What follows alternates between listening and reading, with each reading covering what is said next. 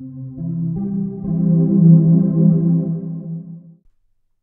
cell cycle is a fundamental process that governs the growth, replication, and division of eukaryotic somatic cells. It can be thought of as their life cycle.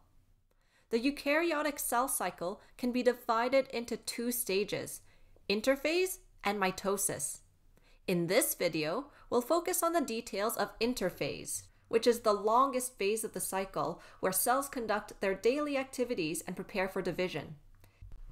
Let's say we have a cell that's right at the beginning of the cell cycle. This is the mother cell. For this video, I'm only going to draw out the relevant parts of the cell. So here we have the nucleus, and inside the nucleus we have the DNA. For simplicity, we'll say that this cell only has six chromosomes, or three homologous pairs of chromosome, or two N chromosomes. Note that the DNA is not condensed right now. The DNA resembles a long thread and is typically not visible during the majority of the cell's life cycle. I'm also going to draw the centrioles here because it will be important in the future stages of the cell cycle. We begin the cell cycle with interphase, shown in green, which is the longest phase of the cycle where cells conduct their daily activities and prepare for division. It is comprised of three distinct stages G1 for gap 1, S for synthesis, and G2 for gap 2. During G1 phase, cells will grow in size, prepare for DNA replication, and perform their specialized functions. For example, a pancreatic cell will produce insulin. The G1 stage is crucial for assessing external signals and internal conditions to determine whether the cell should proceed with division. This is when the cell reaches the G1 checkpoint, also called the restriction or R checkpoint. If conditions are not favorable, the cell can exit the cell cycle and enter what's called the G0 or G0 stage. The cell is in a quiescent state where they continue their specialized function but halt activities related to cell division. In fact, the more a specialized a cell becomes, the less likely it is to continue reproducing itself. For example, neurons and muscle cells often enter the G0 stage and remain quiescent for extended periods of time. They focus on performing their specialized functions without actively dividing. These specialized cells are replenished by the reproduction of less specialized precursor cells called stem cells. For cells that pass G1 checkpoint and enters the S phase, they are now irreversibly committed to division, barring any unexpected problems such as DNA damage or replication errors.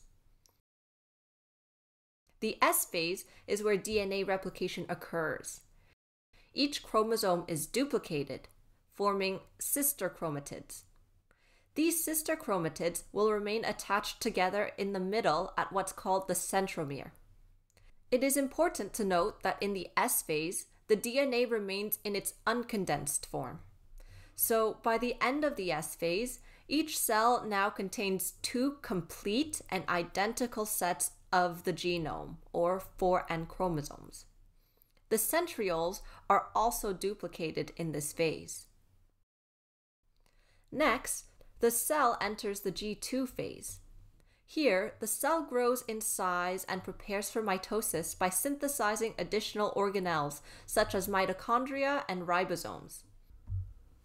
The G2 phase is crucial for confirming that the cell has accurately replicated its DNA and that all necessary components are in place for successful cell division.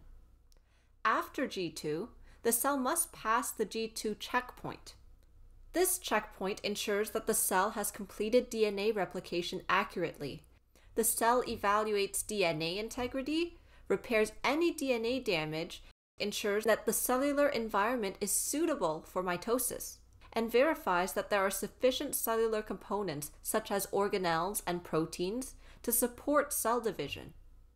If the DNA is damaged and cannot be repaired after G2 phase checkpoint, the cell may undergo a programmed cell death process called apoptosis. Apoptosis eliminates cells with irreparable DNA damage and prevents mutations from propagating to future daughter cells. If all is well, the cell can continue on with mitosis, which we will cover in the next video. Now, time for some questions to test your understanding. What important process occurs at the G1 checkpoint during interphase? Pause here if you need more time to think.